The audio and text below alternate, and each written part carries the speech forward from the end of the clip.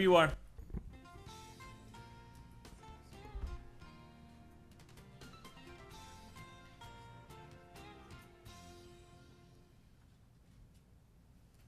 All right, welcome everyone to the September 2nd, 2014 Shakopee City Council meeting.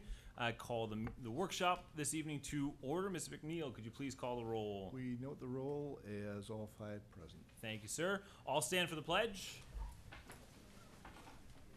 I pledge allegiance to the flag the United States of America and to the republic for which it stands, one nation, under God, indivisible, with liberty and justice for all. All right, item number three, approval of the agenda. Do we have any additions or corrections to the agenda this evening? Council? Mark? Nothing? All right, entertain a motion to approve. Council Whiting? Make a motion to approve the agenda as presented. Council Mocol? Do we have any discussion? Seeing none, all those in favor? Aye. Anyone opposed? Passes unanimously. Item four, consent business. Anything to remove or add to consent? Counselor Lehman. Four D. Four D to remove from consent. Anything else? Entertain a motion for consent agenda as amended. Counselor Lehman.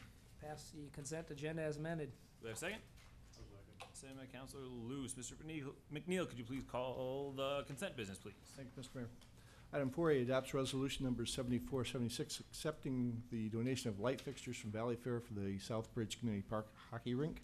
Four B approves the awarding of a contract to R W O'Brien Contracting LLC for the construction of the Huber Park Open Air Shelter be paid for the SMSC intergovernmental grant.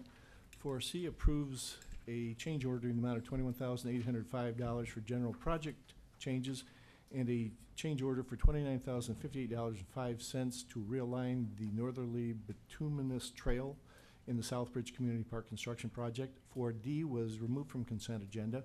Four E approves the appointment of Counselor Michael Luce as the city council representative and Community Development Director Michael Leek as alternate to the MVTA Board of Directors. 4F approves resolution number 7478, receiving a report and calling for a public hearing on the Hilldale Drive Improvements Project number 2014-3. 4G approves an amendment to the Scott Joint Prosecution Association Joint Powers Agreement, providing for the ability to contract with Scott County for prosecution services and merging employees. 4H accepts with regret the resignation of Todd Hallett from the Planning Commission, BOAA, effective July 11, 2014. For I, approve staff to submit a grant application to the State Health Improvement uh, Program in the amount of fifteen thousand dollars. And four J, approves payments of bills and electronic transfers in the amount of nine hundred fifty-nine thousand uh, five hundred forty-nine dollars and fifty-seven cents.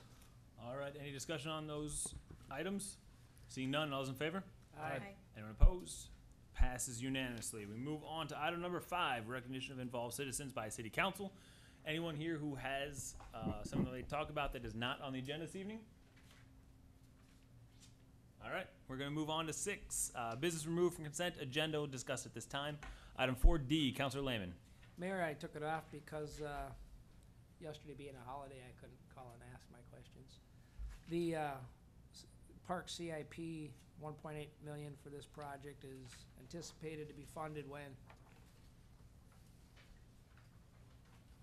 Quarry, Quarry Lake, one point eight million, I don't understand your question, anticipated to be funded when? yes. Um, currently, we have the, Mr. Councilor Lehman, um, members of the council, currently, we have the park project planned for twenty fifteen.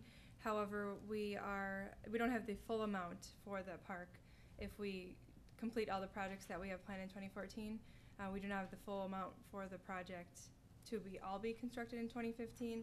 So part of the concept planning would be a phased approach of construction, so we could build what we need with the funds we have, or at that point, council would be able to come back and look at the funding for the Park Reserve CIP and determine if additional funding from other sources is put in there, if we hold off on the project. This right now is for design services to actually plan the park. Right now, we have a very basic concept plan, so we won't know what the actual cost of the park will be until we get it designed.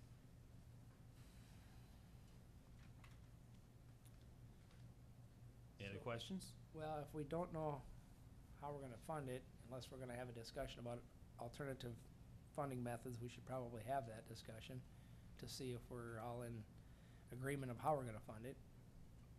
Well, I think we'll have that discussion in the future. For now, we're just talking about the planning phase of it and getting it planned, and then we have to take the plan and decide if the plan is what we want, and go through that process the same way we do all the other parks. What's the balance on the park CIP? Do we know? I can look that up and get that to you by the end of the meeting. Um, Okay, I don't know off the top of my head, no. all right. You have it? Excuse me, our finance director. Julie to the rescue as always. Good evening, Mayor and Council. Uh, Just ran this hot off the press. The park, uh, now are you looking at the park CIP, the park Yes, reserve? yes. Roughly $2 million. Thank you. You're welcome. Any other questions? Nope. All right, anybody have a motion? Counselor Whiting? Move to authorize uh, the appropriate staff to enter into agreement with uh, WSB and Associates Incorporated for the preparation of the final design and specifications and bidding documents, as well as services including the bidding procedures and construction administration for the development of Qu- Quarry Lake Park in the amount not to exceed two hundred and twelve thousand seven hundred dollars. Do we have a second? I'll second. Second comes from Mocol. Any discussion? Seeing none, all those in favor? Aye. Aye. Anyone opposed? Passes unanimously. Thank you. Item uh, seven A, presentation regarding the Chamber of Public Policies Committee's sign regulations. If, uh, we got a lot of folks. Anybody, do we wanna have discussion, discussion about this? Just wanna present, or what would you like to do? I thought we could present and then I'm open to discussion, questions. Alright, perfect. New format. All right, thank you, Mary Ta- Mayor Tabke, members of the council. So on September fourth, two thousand twelve, after holding three public forums with Shakopee business leaders, as well as several city leaders and staff, the Shakopee Chamber and its Public Policy Committee presented to the City of Shakopee's Economic Development Advisory Council, Commission, a list of concerns as well as possible solutions for the sign ordinance as it was then written. Our goal today is still the same as they were when we first addressed the council two years ago. That is to simplify and modify the existing sign ordinance. At that time, we suggested developing a graphic presentation such as a table with basic requirements and regulations, as well as suggesting that it be written for the audience that it's intended, and that is the business community. I believe that this goal meets the chamber's goal, the city's, as well as Scott County's goal of providing exemplary customer service to the business owners who already have or who may want to invest in our community in the future. This has been a long and arduous and sometimes frustrating process, but we feel that significant progress has been made in several of the 17 initial points we presented back in 2012, and that is thanks in large part to the hard work of city staff. And although it is not done yet, I believe we're close to having a sign ordinance that meets the city's goals as well as the needs of the business community. So tonight, I am here on behalf of the Chamber Board and our Public Policy Committee to propose to you a framework for the ordinance that we believe will bring this document to the user-friendly model that we would all like and accomplish our shared goal of finally putting this project to bed. So, our primary goal is now, as it was then, and that is to simplify the ordinance. One of our original concerns with the ordinance was that it was difficult to navigate both online and in print. We would like to take it from its current draft status to an even more simple, easy to navigate state with simplified language, with the use of a concise table, and without the use of cross-references. So we've prepared a table that will allow businesses to easily view the portion of the ordinance that perpa- pertains to them for all types of signage versus the current state of a business owner needing to search the entire ordinance to figure out what they can and cannot do. Now, the table you have in front of you. Okay. I don't know how to do this, but there we go. Wow. Okay. It's small, I apologize for that. So we have left the numbers out of this document on purpose. We are not sign experts, and we believe that city staff would be best equipped to fill those in. What we want you to take a look at tonight is simply the framework and the format. If you look across the top, it addresses the different areas, as well as down here, the different signs, and what would be allowed and what would not be allowed. Now, although we feel that city staff would be best equipped to fill in these numbers, we would like some input on specific areas that we feel are not currently meeting the needs of the business community. But that is not the purpose of tonight's presentation. We have also not filled in um, the areas of the current sign ordinance that don't pertain to the business community. So if you look to the far right, you see residential, and then we just have other columns that um, we have left out that uh, we believe city staff would be best equipped to fill in. But the point we're making is that this table is easy, easily adaptable to cover all of the, the different zones in the city that require sign ordinance. So as far as the text portion of the ordinance that will support the proposed table, we've also provided you with a copy of the City of Arden Hills ordinance, which we believe is a good example of, of an easy-to-read, easy-to-navigate, and easy-to-modify as required document. Now, in order to make this table even more user-friendly, we also would like to suggest, okay, zooming out here. Mark, there we go. Hmm. Sorry. We would also like to suggest the use of an overlay to the existing zone map that would identify business districts by common use, easy to understand titles versus zoning language that the average layperson or business person would not easily identify with. And we have, this is our draft of what we think that would look like. Now, I think it's really important to point out that this is currently the zoning map, the city zoning map. Our proposed overlay, if you just focus on these titles, doesn't change zoning at all. Rather, we have simply grouped and labeled the zones in this manner to make it easier for the businesses to locate which zone they belong to. But it also addresses cer- certain uh, specific geographic needs. For example, if you take a look at the current labeling, you'll notice that the businesses along one sixty-nine, as well as the businesses along one oh one, are both labeled and zoned highway business. Well, those two areas are visually and economically different and have different needs and opportunities for signage. Our overlay map and the table framework utilizing the new district titles addresses that without affecting zoning or needing to change the zoning. It quite simply just makes it easy to understand for the person who's going to utilize it. And then our third goal for this evening is to propose that we work out the details of the ordinance after this framework has been agreed upon. The chamber, we're not made up of sign experts, we're volunteer business people. We're customer service experts, we're business advocacy experts. This is not our wheelhouse, we understand that.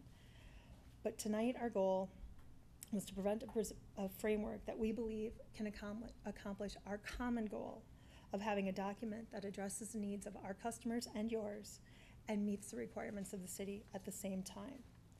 So tonight, we are here to ask the council to direct staff to, one, use the table that we have provided as a reliable guide or a template for the new ordinance. Two, propose recommendations for the member, the measurements to be included in that document.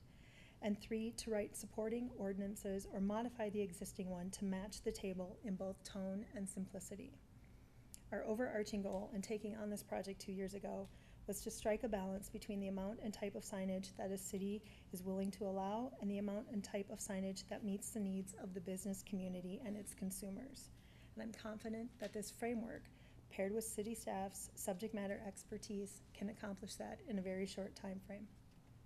I thank you for your time and consideration, and I welcome any questions. Councilor Lehman. Thank you, Angie. What's a graphic sign?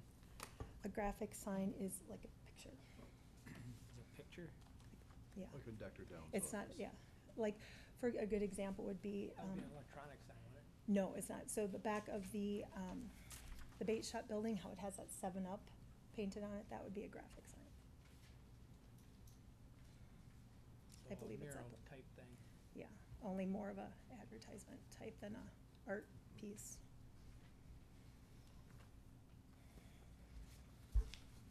Other questions? Councilor Whiting. Has the chamber and the public policy group thought about the outdoor advertising co- aspect of the sign ordinances, anything like that? Any, Help me understand your, have you- eh, billboards, have you thought, have you thought about how that plays into some of the sign ordinance? you know what, questions? as I said, Counselor Whiting, we are not the sign experts. We are simply here tonight to present a framework that, that, and, and if the city has a strong opinion on billboards, I would assume that that would fit very nicely in our table. Um, But that's not for us to proclaim to be experts on. Council Lehman? Just a couple of thoughts, um, not completely against what you're, what you're asking, but do we add confusion by changing what somebody, say somebody has a business out on eighty-three and sixteen, and they know they're, they're zoned this, and now to look up what's, what you're recommending for signage in their neighborhood, they're gonna be called something different, does that level, does that add a level of confusion? I really don't think so. Our goal is to actually do the opposite and simplify it. It's not going to change the type of sign or the size of sign or the lighting or anything. It's simply going to make it easier for them to utilize the ordinance once it's written to figure out if they want to make a change or um, add a new sign, or if a new business comes in to that same property and is going to need to change the signing. It's just going to make it easier to figure out what they can and cannot do. Uh, Mayor, I guess it's no secret that I'm not a fan of our current sign ordinance. Um, Although the first draft that I saw from the chamber, I met with one of the chamber members, and it really didn't touch on one of the concerns I have about, um, sizing. So if you have a small little business like I do, if I put up the, the size of sign that I'm currently allowed, it would look extremely stupid. It'd be like half the size of the building. Um, so somehow I'm trying to figure out how we get to something that size to the size of the structure, and I think they kinda hit on that in some of this information here. Um, but I think really if we're gonna look at the sign ordinance, we should probably figure out what kind of changes we want and direct that towards staff too at the same time. Um, a good, uh, you know, one thing I talked to Michael Leek about concerning signs is these big box that come into town and they want their sign package that they use all over the, the country, you know. Um, it probably wouldn't be a bad idea to have them show us their sign package from other areas of the country and say that's what you get. So that they're, they're, we're forcing them to be consistent with their own model. Um, which isn't always the case. We see a lot of different big boxes with different type of packages. And it's almost like how much can we get from whoever, which I guess is open under a P, PUD or, or a, uh, separate permitting process, I suppose. Um, you know, I'm not against billboards on one sixty-nine. I don't think you can see them businesses traveling down one sixty-nine. Uh, I think that some of them businesses are in a, in, in a disadvantage. A lot of people don't even know they're there. That's unfortunate. Um, and I don't think we do a very good job of our destinations from one sixty-nine, whether it's Canterbury or, or Mystic Lake or these types of things. Granted, I don't wanna see it like going out to, going west where every three blocks you see Wall Drug, a couple more miles, you know? But I think we could make improvements there, I really do, you know? And, uh, so I, I think we as a body have to figure out what exactly we wanna change in our sign ordinance and pass the whole package over to the staff for their expertise to, to, to do that. And I think we've had quite a few, I, I completely agree with you. Um, and I think we've had quite a few discussions about this over the last two years. Um, and I think we have a good idea as to what everybody wants to get to. We just need to get it, like you said, down into a list of these are the things. One of my big questions on this, Angie, is how do we, a lot like Matt was talking about, how do we handle with something as simplified and as clear cut as a table would be, how do we handle nuance? Um, because if you've got, like we had to do a variance for Shutterfly to make the, Mhm. the signage fit with the building, like Matt was talking about. Mhm. Um, how do we, with something as very clear cut with this and as drastically different, um, as some buildings could be within a category, what have you guys talked about with how, how that is handled? Thank you for asking, Mayor Tabke. We do have some thoughts on the current variance issue and the variance process. We believe that if you write, there are nuances, and we, and we are such a diverse community geographically and historical downtown versus the new big box, and everybody's got different needs and wants, and it's hard to take a black and white ordinance, which by virtue of what an ordinance does, should be black and white, right? But then if you write it that way, how do you allow for that? You can't have everything being a variance. So one of the things we have talked about, and again, this goes to council and, and city staff as to whether or not it would work here, is to rethink the current variance process and, and provide for the consideration of a better idea. Now, it's my understanding that when a variance comes forth, it goes to the planning commission, to the appeals board, correct? So they would still hold that power to make that decision. Um, we had an idea that there would be two criteria for allowing such change without having to go through the variance process. As it's written right now, the variance requires a business to prove some sort of hardship, and that's, it's practical difficulty with their signage is how it's written.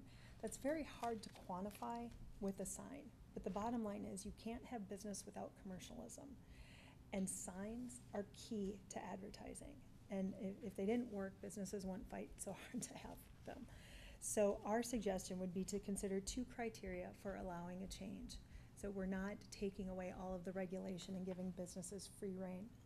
But, so, for example, if the sign adjustment will not significantly increase or lead to sign clutter in the area or result in a sign that is inconsistent with the purpose of the zoning district in which the property is located, or the sign adjustment will allow that, will allow a sign that relates in size, shape, color, illumination, and character to the building and or property. So you can write those however it, it makes sense to allow for the nuances and to allow for a better idea.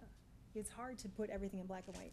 You have to allow for creati- creativity in advertising and signage, and you can't possibly predict what that's going to be, so you couldn't possibly write every potential scenario into an ordinance. And to have an ordinance that every creative idea requires a variance seems like a pointless ordinance if everything's gonna be a variance. You have a question, Mike? No? Um, all right, so my next question with it then is, so with what we've got for a current revision on the ordinance, where we're at Mhm. today, not what's adopted, but where we're at today, um, with the revisions and everything, is it possible to take what we've got and to, I don't know, if shoehorn is the right way to say it, but to, to get this type of table out of what we've currently got? So we I- don't need to rewrite the entire, cause I think the, the ordinance as it is now gets at a lot of these things, but needs to does.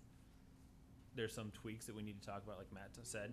Um, but is it possible, in your guys' opinion, to get to something like this from our current ordinance and just have a very clear way of saying what's in there? I think that all of the data required to populate this table is in the ordinance right now. The problem we have is, and, and problem might be strong, the challenge right now is that that's still hard to navigate. It's still hard to find. There's a lot of cross-references to other ordinances. It's very confusing. And that's from somebody who's looked at it for two years. Mm-hmm. So I think the data exists now to populate this table. I think the text exists now, needs to be modified in some areas to support the table. And there are some key points on here that once populated, we would want to go back and revisit. Not the point of tonight, but there are some numbers and some ratios that we would want to at least have a follow-up discussion on. Mm-hmm. But to answer your question, it exists now, it just needs to be populated. Okay, well, that makes it a lot easier. Council Whiting? Uh, A little bit follow-up to that. Do you believe that, and I'm, a- I, I like the over, I like a lot of things about the table I like, the overlay map I like. Now, do you think the overlay portion will address some of those issues in the ordinance that we currently have that makes you jump around and look at different parts of that? I think the overlay map in conjunction with the table will address that. The map itself won't if it's still written in the same format that it's written now, where it's, it's text-heavy versus simple table. No, I like the idea that it is uh, easy to understand, um, um, and the overlay makes sense to me to, to kind of, rather than jumping around from zoning to zoning. Um, If we can, and there may be exceptions, I'd have to think about that. I like the idea of the, the directional destination size, but, and and you kind of touched on the scale portion of it, you know, how do we, you know, make it proportionate to the building, and I think maybe that needs to be drawn out a little bit. um, Well, and if you look at the table, there is a spot for that. You know, Okay. so if you look at whatever zone, whether it's a wall sign, maximum area, maximum height, all of those things are addressed in here. They just need to be populated with whatever numbers city staff feels is appropriate and safe and meets regulation. All right, any further questions? Mayor, could it, could it be as easy as a percentage of the sign front? Uh, let's say you have a building that's this big and you're allowed this percentage of that space. Mm-hmm. Some might have a taller, narrow sign, and some might have a rectangle sign, and maybe the business has got a triangle sign or whatever. But if it's a percentage of the total wall space, then whoever owns their business wall space knows what they have to mm-hmm. use. And I haven't looked at it in a while, but I believe that's what's in the current revision that mm-hmm. Mr. Leek had worked on. Is that There is a ratio still Uh, in yeah. there. Our, um, I hate to be a complainer, our concern about that is it's, it's a ratio, um, it's a capped ratio based on the linear footage of the front of your building. And for a business owner to achieve the maximum sign, sign square footage allowed, they would need to have a hundred foot long storefront. If you think about our community, there are very few businesses that have that long of a storefront. I mean, we're talking anywhere from twenty to forty feet wide typically. So we are proposing, um, that mo, you know, we take the cap off. And instead of having a, um, maximum, we have a guaranteed minimum. What if that minimum isn't proportional to the building? It could be written in, I would think that, and again, I'm not a sign expert, but I would think it could be written in a way that would be, and keep in mind, businesses, just because they're allowed square footage, doesn't mean they're going to, I mean, you said yourself, you could fill up half of the front of your building, but it would look stupid. So businesses are gonna do what is aesthetically pleasing and what they can afford. Signs are not cheap. All right, so I think everybody is, you wanna? No. I think everyone is on board with the concept, at least, of table? Like it put forward, is that correct? Council Luce? I have one question as to a temporary signage, you know, for an event or something like that.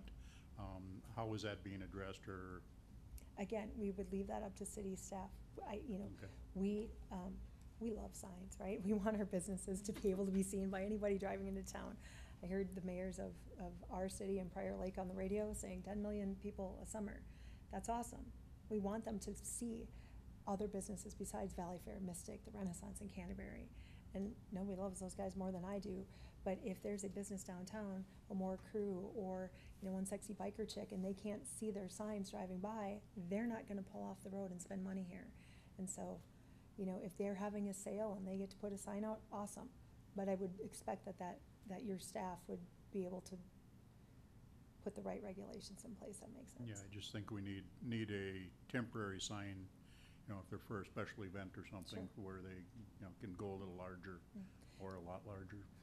And right now, that's in the ordinance, and so once it gets populated in this table, then we, we would propose that that would be kind of the final phase of this, is just reviewing that, and making sure council and staff and, and the business community is on board, and, and can, we can all agree on it.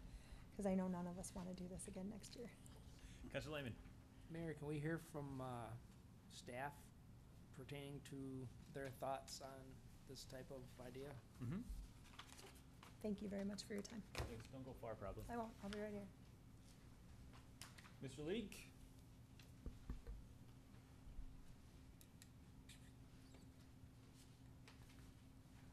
Council, are there specific questions you have for me?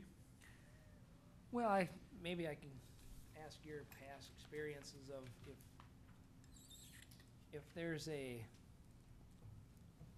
increased maximum and it's not proportional to the business, to the building, um, I know as well as you do in the past that we've had businesses that came in and wanted more than what was allowed. Um, what does that create for us or potentially create for us?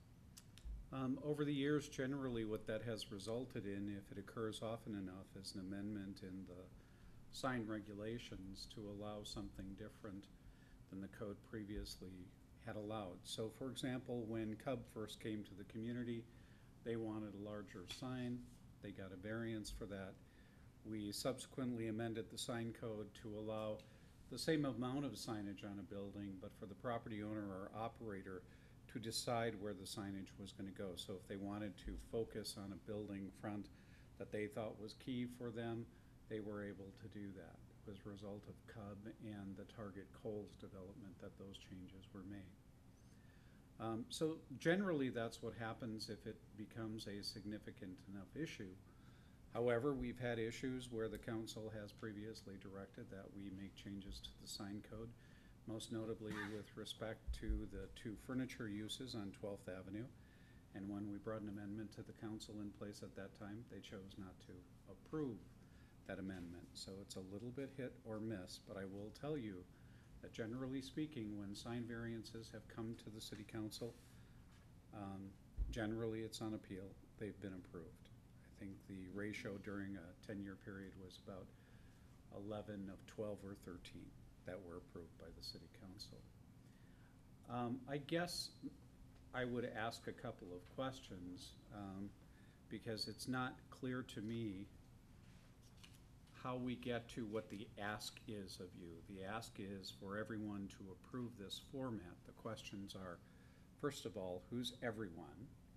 Secondly, as Ms. Whitcomb indicated, there are a number of things that are not filled in on this. And you know that we spent a year with the EDAC, which contained a number of members of the Public Policy Committee at the Chamber and the Planning Commission, addressing each and every points in their additional, initial request.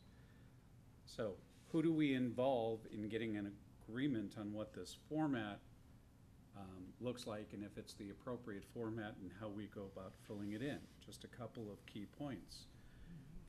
On the map, and I understand that you um, find some appeal in the overlay concepts, but this map leaves open the question of really where are the boundaries for the overlays that are indicated here? And how do we get to an agreement on what those boundaries are? uh, without excluding some potential businesses. 101 is particularly difficult because we do have retail businesses along 101 outside the areas that are indicated here that are not major recreation businesses. So that's one question, and how do we get to that definition? Who do we involve in that definition?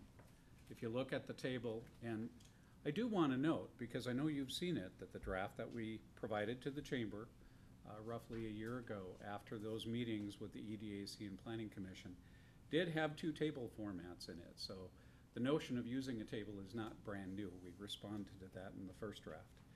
Uh, But please note here, this still says maximum square footage. And my understanding of the concept that's been presented to you is that the Public Policy Committee is not really looking for maximums. They are looking for a minimum sign size that is allowed. Counselor Lehman asked the question about what about a small business? So the question is, if you have a minimum, are you allowing them, do you draft an ordinance that says they can have smaller than the minimum sign so that they're not stuck with the minimum sign? But this table still talks in terms of maximums. They've talked about a process um, for letting larger signs presumably and taller signs be constructed. That is not a variance process. There was actually one of those that was recommended by the Public Policy Committee in the draft. Clearly, that's not sufficient, um, and we would have to consult with the attorney to, to see what the approach is. But my understanding of what I'm hearing is that they are looking for, look, we want a minimum size and height, and we'd really like them to be able to do what they economically think makes a lot of sense and that they can afford. Which really means, if that's the case, there's no need for an additional process. All that is, is record keeping saying that someone came in for a sign permit for a seventy-five foot tall sign that happens to be six hundred square feet. Because you're not really contemplating, even with the criteria as they were outlined in their very general criteria, um, whether or not you would end up denying, because you don't have the kind of criteria that a variance process presents. And they are very subjective measures. How do you determine whether it contributes to clutter in that particular area, especially if, taking Counselor Lehman's tack on the one sixty-nine corridor, you might wanna consider billboards, in addition to signages for the buildings. So bottom line, the question I have is, how is it and who do you want to involve in getting consensus on this approach? And by what means do we get consensus on filling in the blanks that are not filled in here? And for those areas that are not addressed here because they really are focusing on commercial retail, do you want us to go to the other provisions that we put together in this last process? Do you want us to look at something new? You may not be aware of it, but I actually did cut six pages out of the existing sign regulations in that draft. I spent months and months trying to reorganize it, so it was a little more intelligible. But, you know, do you want us to go to something different for those areas that aren't addressed here? Um, and that's not addressed by this proposal. Mr. Uh, McGill? Mr. Mayor and, uh, council, certainly I think one of the first things we do is we would, in fact, populate what the chamber has brought forth tonight, and I think with that, then can identify, you know, where are the blanks that still need to be filled in, and work with the, uh, chamber. I think uh, Ms. Whitcomb referred to, uh, the fact that there were some things that weren't fully addressed it. Let's find out what those are, uh, explore those, see if we can do something, whether it's formatting, uh, through the Arden Hills example that they propose here. To see if we can come up with that, work with the Public Policy Committee, with the EDAC and Planning Commission, and uh, look for those things. If it means that we've got a change in what we have for variance, I understand the problem with trying to point to, uh, other than economic hardship, uh, what the hardship would be on that. That may be a challenge, but I think we're- there's some opportunities out there. With that, then, and once the Public Policy Committee is comfortable with that, we could bring it back to you and have further discussion. Uh, Angie, did you, did you have any thoughts on next steps? Uh, well, I would agree with Mr. McNeil. I think, I think we all share the common goal. We all want a sign ordinance that meets the needs of the city and the business community. We want it to be easy to read and, and meet regulations for safety, for aesthetics, for all of that. Um, our goal tonight was just to simply present this framework to address the concern of the overlay map. We went zone by zone, and there is a direct correlation between the, the districts and the zones that currently exist. We left none out, so they are all addressed, so that would be very easily um, outlined with a Sharpie, and we can do that for you. Um, you know, our goal is to present this framework. We, we are not on the opposite side of the table from the city. We want the same thing. Um, we are not sign ordinance experts. We are business people and customer service experts, and our goal is to provide a document that serves all of us. Perfect. Thank Thank you. you. Um, all right, Counselor Luce? The overlay map, I, I like the, the look of it, but I think we need to nail down the boundaries somehow so that people know, you know, that this road is the division between the two boundaries, or this, uh, geographical location somehow has to be determined. And that's gonna be a major part of this, as looking at this map, we have a lot of different areas. Yeah. That's absolutely true. Um, sorry, I'm just thinking, um, which we all know takes a long time sometimes. Um, all right, so from here, if we could, um, we need to, as council, uh, give some sort of direction as to what we want to do. Councilor Lehman? Mayor, I'm gonna make a motion to, uh, direct our staff to try to fill in this as best possible. Um, just so we can see what it actually does for us. Um, and then bring it back and we'll have continue the discussion on how we're gonna deal with ratio of size to structures and things like that without just leaving it open. But the motion basically is to have staff put all the information that we currently have in our ordinance onto this document, and let's see where it gets us. And bring it back. Okay, do I have a second? I'll second that. All right, second by Councilor I'd Luce. like to amend that so that we also have the boundaries decided as in that process. Cause I think just coming and filling out a graph or Right. i- isn't gonna give us the boundaries Right. to make us better judge of, okay, that will work for that area. Okay, I'll accept your amendment. So, but with that Does the as second, discussion, does the second oh. accept that amendment? does the second accept that? Sorry. Yes, I do. Thank you. Um, with that, so what happens with, um, so like, are we gonna do you want to use the current ordinance, or Mr. Leek worked a long time on a revised ordinance that I, th- I don't know if it made it all the way to council or not, I'm not hundred percent sure. But there's a revised ordinance that We- met a lot of goals. We had it in our packet, our Okay. Friday packet. Okay. Um, do you want it to use the revised ordinance, which I would suggest? Well, if it's not too much work, I think we're gonna end up revising it, so to me, it doesn't really matter.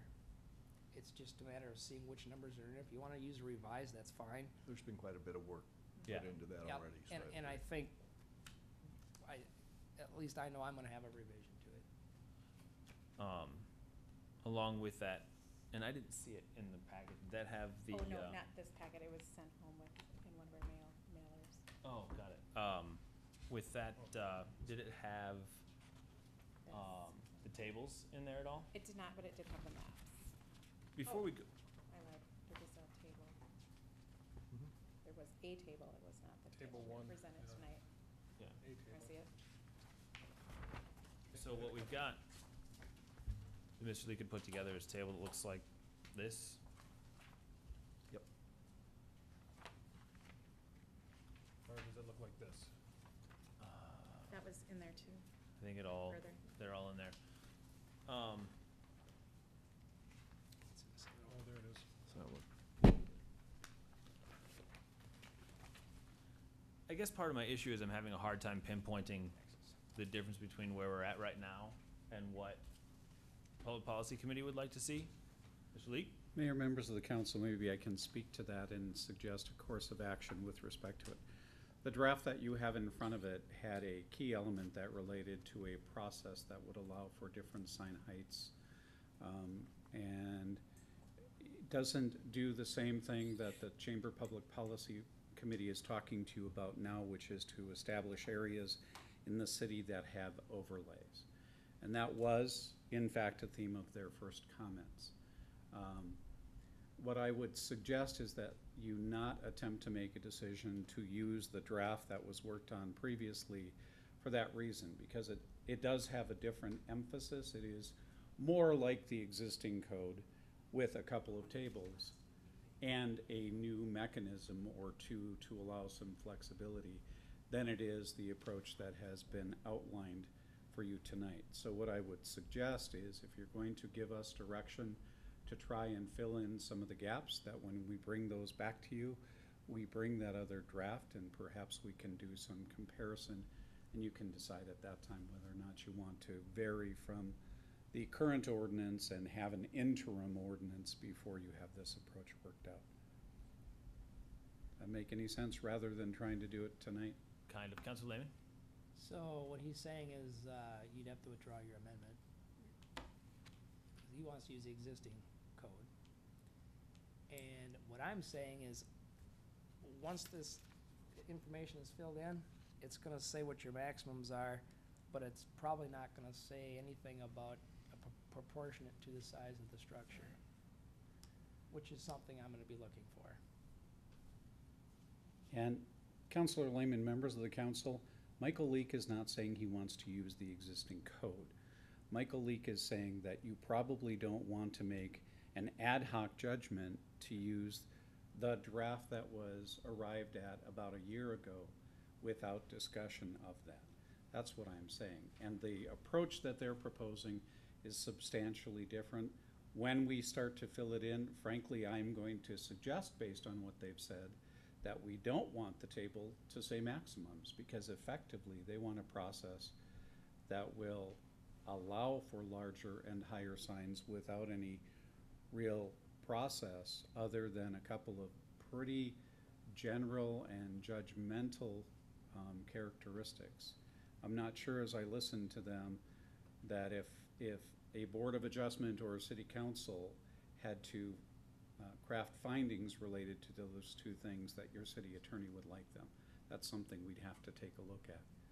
Um, But since it is so different and you are apparently in general agreement with it, I don't see any point in taking the interim step of adopting the ordinance that was previously done.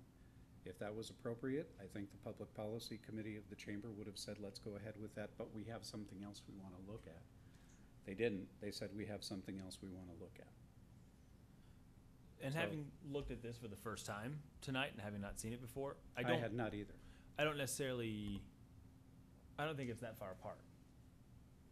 I, I, I think that what we've got in our current, current ordinance, not the current ordinance, with your, the revised ordinance that you worked on, can be made to fit the goals, I believe. Uh, We'll certainly find out. and we figure out, so the best way to do that again is, how do we get there? Well, the motion in front of you is to direct staff to try and We're still discussing. fill in the yeah. gaps Sorry, I forgot and we're then still bring discussing that the motion.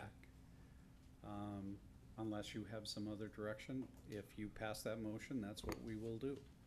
If we have questions, we will certainly contact the Chamber Public Policy folks and discuss them with them. And, and I do understand Counselor Lehman's concerns. We've had some conversations about that. Um, and I'm not sure it's addressed in the table, but we may, in looking at it, suggest a couple of approaches in addition to what's here. So that I'm clear, this would be looking at the table, populating that, talking with the Public Policy Committee. There's a question as to the overlay map and how to best utilize that so it's understandable. Um, You Does have it to make define sense? boundaries. Does it make sense to address those first, and once we get an agreement, then look at the format, whether it's taking the revised one that's been worked on, using the Arden Hills example, and then going back, and that would be the uh, ordinance, then that would govern where this is going. Council Lehman, Mayor, the end result that I would like to see is a very easy to understand ordinance that anybody can pick up and know exactly what they're allowed to do. And if they follow exactly what they're allowed to do, it fits with a percentage of the total wall space in the size, you know, and you can't really spell that out in sizing alone because if you allow a fifty foot by twenty foot sign in this area, in that area of town, you have multiple size structures. Mm-hmm. That size is not a one-size-fits-all size for all those buildings. And I'm not gonna leave it on the business or the property to decide that as a policymaker. alright, so we have a motion on the floor, um, do you guys still? You're, s- Yep, I'm good with Okay. where we're at. um, alright, any further discussion on that motion? Alright, seeing none, all's in favor? Aye. Aye. Anyone opposed? Alright, that portion passes unanimously. Um, so should we bring this back for another discussion at the workshop in October? And bring, If, uh, staff has got it ready by then. We'll do our best. um, cause I'd really like to have this put to bed by the end of the year. It's, it's been going for a while. Um, so let's put, uh, let's get all the information together so everyone can, and if, uh,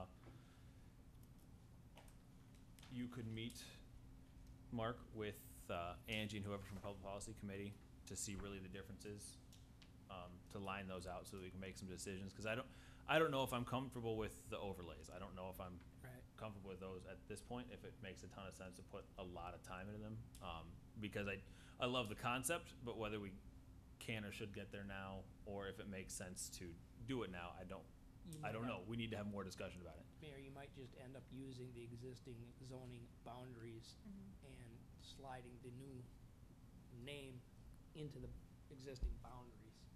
Yeah, cause I don't know how far apart we are between everything now. Um, Council Whiting? Just the last comment, you know, I do have a, a, a little bit of an issue of pulling off the maximums, and I, I like the idea of uh, proportionate, the percentage of wall space or percentage of scale.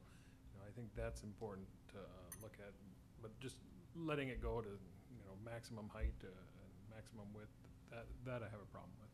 Okay. Angie? Can I just make one more comment? Please Mr. do. Mayor, Members of the council. I keep hearing conversation about the overlay. We took every zoning district and lumped them in there, so it would be very easy to outline for you that every zone is covered. We basically didn't change anything except make the titles easier to understand to somebody who's not city zoning staff. We just grouped the existing. We just grouped the Codes, existing yeah. and titled them differently. I just wanna make sure to, to clarify once again, we're not here tonight to discuss minimums or maximums or numbers. We purposely avoided that because that is not our expertise. We, we defer to city staff on that.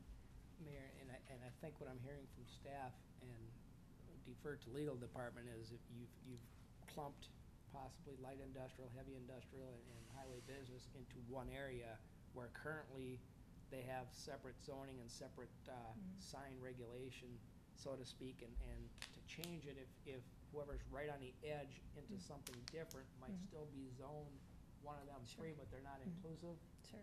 They have a legal argument. Sure, and I think working with staff, that is an easy line to draw where it makes sense regulatory wise, so. Okay. Thank you. Perfect. So we'll pull this back through the first meeting of October for a discussion about the, the nuance and the details after we can put everything together. Does that work? All right, anything else? All right, thank you very much for all your work on it. We'll get there eventually. We'll get there, I promise. All right, thank you for being here. We're gonna move on to the next item. Uh, seven B, citywide survey discussion. Mr. McNeil.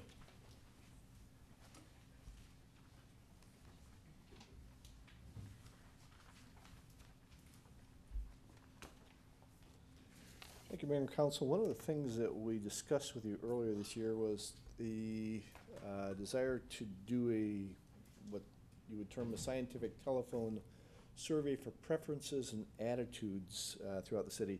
I Wanted to talk with you further tonight about what that would entail and uh, gauge your level of interest. A number of our neighboring communities have made it a practice either annually or every other year, in some cases every four years, to do a survey of the community to see how people perceive the levels of interest uh, for the services, the various programs that are conducted by the city. Uh, They also use it as an opportunity to determine what the needs, wants, and desires are. I think as we're interested in performance measurement, one of the things we have to identify is where are we right now? That, we need to identify a baseline from which if we put resources into different programs or services or things such as that, that we can see whether we're improving or decreasing and where uh, those might be. Um, I contacted the company with, that many of our uh, neighbors have utilized to determine what that would include for Shakopee, should we do that. Uh, The company that is probably best known in the Twin Cities area is Morris Leatherman, that used to be um, Decision Resources, Inc. I spoke with Peter Leatherman about the process that we'd use for a first-time uh, sort of user such as Shakopee. First, he commended you for looking at this. He really uh, thinks that as elected officials, you need to know from the people uh, what the broad outlook is. You'll hear, as you know, uh, often from people who are passionate on either one side or the other of a particular uh, topic. He says fifty to sixty percent of the people are in the middle somewhere, and that's where it's important to really find out where they are so that you can make good public policy that's going to impact the majority of your constituents. Um, I asked him for the people, for, for the uh, clients that they have uh, on a regular basis. Those are there, as you can see, it ranges anywhere from the size of Chaska to Minneapolis. They've also actually done work for the Shakopee School District and for the Farmington School District. Um,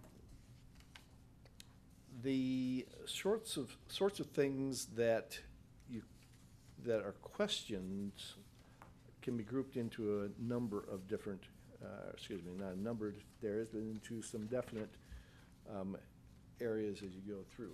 Housing is uh, one of the ones that's very common on that.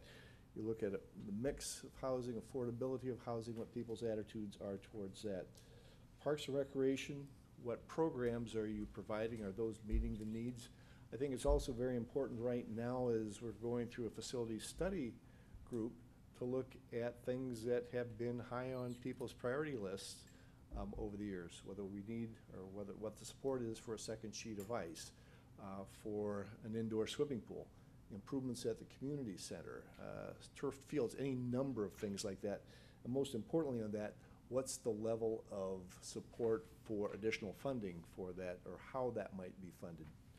Uh, Transportation and transit, uh, they often ask about commute times, they ask about, they ask about bus service and look for ways to improve that. And finally, we could probably add one on roundabouts, since we have that um, up and operating now in portions of the communities.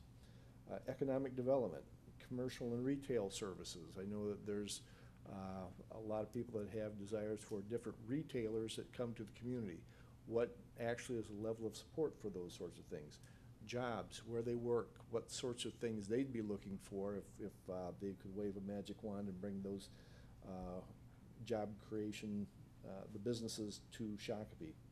Property taxes are another big one, and what's your level of uh, comfort with the amount of taxes that you have? Do you think it should be lower? How much lower? Are you okay with increasing property taxes? Public safety is another one which is commonly looked at. Uh, Patrol for police, uh, crime prevention efforts for them. Uh, Fire, have you had use of the fire department? If so, you know, was that satisfactory to you? Flood preparation is something that we might take a look at as we've had some interest um, certainly this year in terms of where things have been and how we prevent uh, future occurrences like that, and animal control issues. Continuing public works, they often ask on snow plowing, street maintenance, recycling, and garbage. I'm guessing that that would probably be of uh, interest to a lot of people now that we're into 90 days in the new hauler. Job performances of the mayor and council and city staff. Have you had opportunity to contact the city? And if so, did you get your, your issue resolved uh, quickly, professionally, and courteously? And then finally, communications. How are we doing in terms of getting the word out to you? Social media, uh, the website, how often you visit that, newsletter. If you look at it and you see that only a very small percentage are actually using the, the newsletters, is something that really makes sense to continue doing. So hopefully with this, you'd be able to make decisions that would best utilize the services, the resources that the city of Shakopee has. Um, Overall, the uh, sample survey, uh, the peop- people to whom they talk is uh, determined at random. About thirty-five to forty-five percent of the calls that they make right now are to cell phones, so it's not just, we, we take the phone directory out and, and uh, determine who we're gonna call. Um, There's also a uh, need to do uh, multilingual sorts of questions. We have a large part of Shakopee that does not have English as a primary language. Um, As Morris Leatherman said, if we survey Minneapolis, we can certainly handle Shakopee. So those are things that are important in order to get a good cross-section of the community. Costs, excuse me, uh, and the other f- factor on this is really the uh, amount of time that people uh, would be asked to devote to it. Uh, Typically, it's thirty to forty-five minutes. He said that once people understand they're not being sold something, they're actually, uh, in many cases, very interested in uh, talking, and you have good participation rates once you get through to them. Costs are the thing that probably are, uh, is something that we need to be uh, concerned with. That's going to depend on, one, what your uh, desire is for accuracy, and then how many questions you ask. For a city of our size, about four hundred telephone surveys would be needed for what they call a plus or minus minus five percent accuracy rate. You can increase that by going to six hundred calls, but your accuracy rate will go to then four percent, about a one percent difference. I don't know for general purposes that that's something that the extra money would be well spent to do. And again, the other thing is the number of questions. There's a certain amount of questions that you can do before somebody's gonna get overloaded on it. But the questions themselves range from about eighty to one hundred fifty. Figure ten to twelve of those are just gonna be general demographic things, female, male, income level, household ownership, that sort of thing, which helps to identify uh, who your respondent's going to be. If it is something that you would like to do, uh, it takes about three months from the time that you say go to when you would get the final response uh, back from them. I'd like to think that we could get that started, if you choose to do that, yet this month. So that means we would have the results back by about the first of January. That way, we'd establish that baseline that I spoke of earlier so that you can move forward from that on it. Um, As far as the process on it, the important thing is the actual document itself.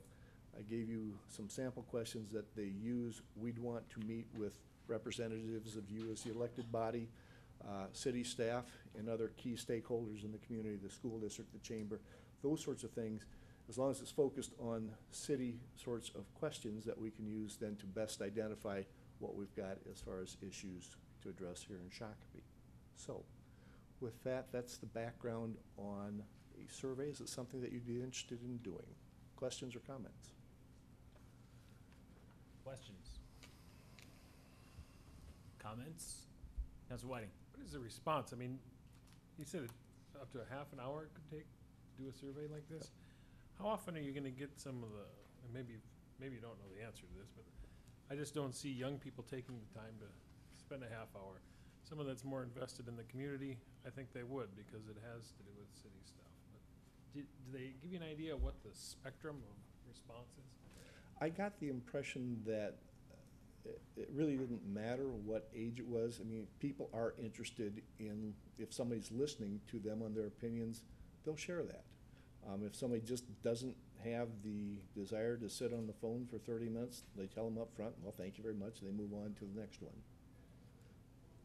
Until they get that block of three, four hundred, vo- uh, ta- uh, four hundred, four hundred Yeah. people into their queue. then. Again, and, and- and they want to keep it balanced so that you don't get all, you know, retirees, or you don't get all, you know, people under twenty-five. What you're looking for is a cross-section of the community that's proportionate to what your uh, census data shows.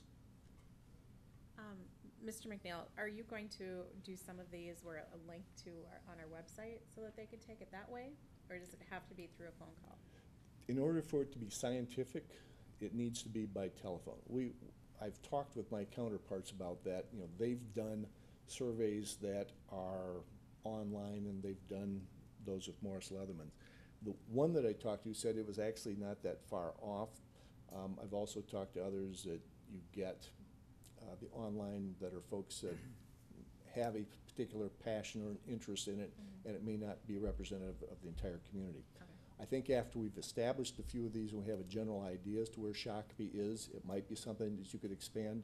I do recall one of the community center questions that was put in the late nineteen nineties, and I think what we got and what the actual vote was were two different things. Anyone have a problem with Oh, this? That was very close, so. I, uh, I'm glad that we have an opportunity to, to voice what some of the questions are. Um, I think four hundred is not a good sample of how many households we got in Shakopee. You Obviously, become a can't do them all, statistician in but- the last fifteen minutes? Well, four hundred of twelve, twelve thousand households or whatever, it's like, that's a really small percentage. But I realize you can't do them all, so I would try to get more The key is how those are sampled. I mean, if they just go, you know, down the phone directory and they take the first four hundred that start with A, you may or may not get a good cross-representation of where the city is. If you go every tenth name statistically, that's probably gonna give you a better random factor than other ways of doing it. I can't tell you specifically, that's why these people are professionals, they do it, and generally speaking, at least the results that I've seen have been pretty accurate. Counselor Luce? Personally, I think there's, you know, the questions, the time, it's, it's just, I don't think there's many people that are gonna sit there for 30, 45 minutes answering questions. I ju, I wouldn't, there's no way. And as far as cell phone numbers, I don't know, you know, I only have a cell phone, I don't have a landline, so they're not gonna be able to get a hold of me unless somebody's starting to publish cell phones. Yeah, they will. He, Yeah, he they will. said it's scary how much information they can find out about somebody that's isn't necessarily in the phone directory. Um, I would like to see it either done in the city newsletter or put it online for a test case. You know, just, just to try it out, just to get a feel of what we're getting for answers before we start doing a phone survey, which, you know, it's spending a lot of money right up front, uh, you know, get a basic idea before we go headlong into this.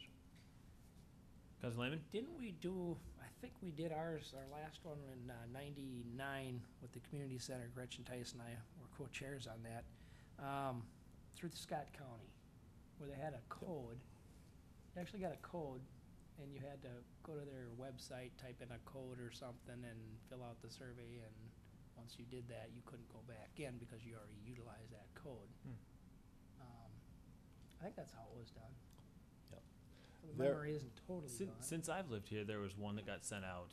Uh, so I moved here in '03, and I think it was '03 or '04 for that referendum. That was a then they got mailed out, um, and that was the referendum that Mark Themig was the big one Right, for right. everything, and that got sent out that time. Yep. Um, but I, I would very much like to move forward with this. I I don't.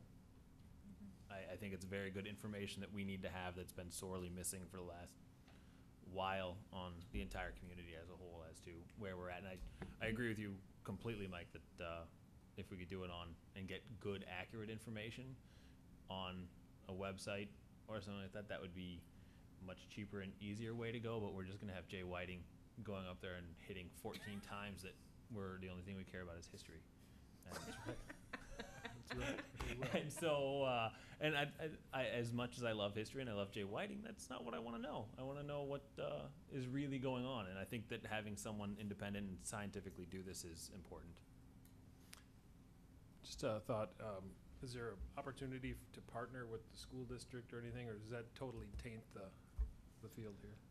Uh, we could certainly ask them. I know they are going through a very extensive exercise right now on trying to determine uh, school district issues. And I have a feeling those are probably, that's probably a separate set of issues than what we're trying to get out of this. Because Lehman, Could we shorten up the length of it by minimizing the questions and then broaden the pool? We can certainly do that. Um, again, there are going to be a base number of questions that they're going to have to ask for demographic purposes, but uh, I know some cities, they just concentrate, this year we're going to ask about public works, and next time they do it, they do it on public safety. So if you want to reduce the number of questions that you have by the number of topics that you want to cover, that's easy to do.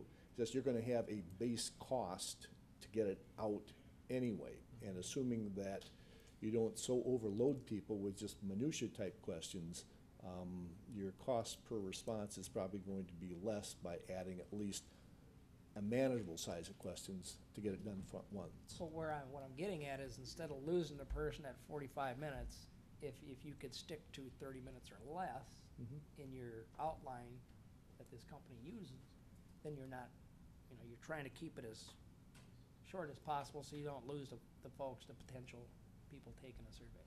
Yeah. I like Alright. the idea of trying to partner with the school district though, you know, if they can throw in twenty or thirty questions, we get twenty or thirty questions. A lot of them are gonna be beneficial to both of us, even if the other Absolutely. one asks it. Mhm. So I think we could both make a, you know, some very good use of this. so let's ask that question and bring it back on the 16th, um, as it's presented, or is there major changes that majority of us would like to see? Speak now. Well, I'd like to see it as short as possible so we don't lose people and, and broaden, broaden it to six hundred, Yeah, and I think we have to shorten it if we're gonna, if they're gonna go in with it, they're gonna have specific questions they want. right? I wouldn't argue with that. Well, I would say we let the experts that are the Mhm. the stat folks say that if they can get a forty-five minute survey out of four hundred people, that's gonna be meaningful and have a, that we listen to what they say, because I don't know anything about taking surveys and statistics, I'm not sure how we can tell them that that's not, Their job, yeah, we're paying Well, them for the number. It's my understanding that we have input on what kind of questions they're asking. Right. So we're already di- dictating how long these surveys are gonna be based on what questions we wanna ask. They'll figure out the technical Right. wording of that If I- question. If I could. I think we could probably, let's identify what it is that we want to talk about. Um, there may be some things that aren't a large issue, and if that's the case, then we just don't ask those, or we do it in a future year, things like that. If the intent is that you want to keep it as brief as possible, but still be meaningful, let me do some additional checking on that and find out what's, what are people's boredom factor, at what point do they just start turning off because it's too long? Um, and I can bring that back to you. Mhm. perfect. Okay. Moving on to, uh, seven C, one, preliminary twenty fifteen budget and property tax levies. Do we need to take a break or anything before we get started with this? Yeah, we'll run this through. Motion- Motion for a seven-minute recess. Seven minute recess, do we have a second? A second. Second, and do we have any discussion? So much for Seeing that none, all's in favor? Aye. Anyone opposed? Passed unanimously. We're in uh, recess for seven minutes.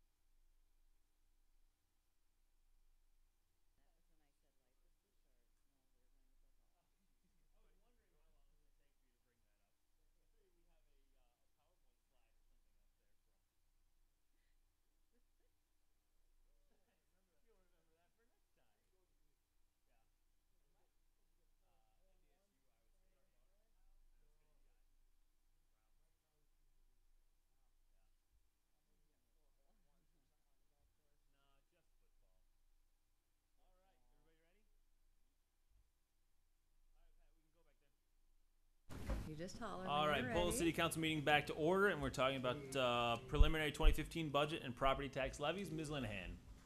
Good evening, Mayor and Council and City staff. Before you this evening is the next step in the city budget process. As you're aware, under state law, the city must pass a preliminary levy, and that is this year by September thirtieth. The final levy will be presented to you in December twenty fourteen. The preliminary levy is what we are discussing yet tonight because there were several issues that were unresolved as of the last council meeting that we had uh, been requested to bring information back to you, plus to give you an uh, discussion point of where do you really want to go on this year's levy. We've talked a lot about the, the different requests that have been made. All in all, city budgets operationally are right in line with previous years. There's been some changes that were outlined in the rather extensive memo you received in your packet. Uh, Some of the issues that have changed between 2014 and 15 are things like the uh, situation with the uh, public safety. You'll notice some decreases there because there were changes in the joint prosecution agreement. There's also some items that internally we've taken some time to really look into, such as equipment costs and the allocation of the charges for those. We have ahead of us the task of determining where does the council wish to go with the levy. What I've provided to you in your uh, packet was a bit of a detailed format from the county that explains if you were to take last year's base levy, and if you were to look at different options for what would happen if you were to increase the levy, let's start on this side, keep it flat, go five percent increase, go eight percent increase, go ten percent increase. What you see here would be your tax rate and your adjustments to the uh, overall impact. As you recall at the last meeting, we also discussed a thirteen percent growth rate in the values that is presented by Scott County. One of the issues ahead of you tonight is the maximum levy that will be presented to the council on the sixteenth. Now, what you will see in your packet that you will be asked to, uh, to approve at the next meeting would be this type of a resolution.